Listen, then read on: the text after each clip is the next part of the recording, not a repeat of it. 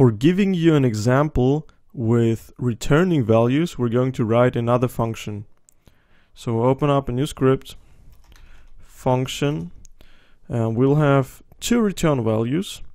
Let's say we'll be returning A and B equals let's call it my calculator the function name will be my calculator and the arguments will be C and D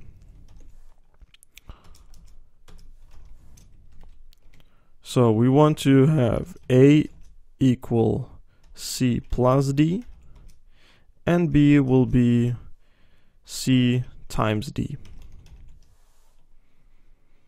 Okay, we're going to save our function, my calculator.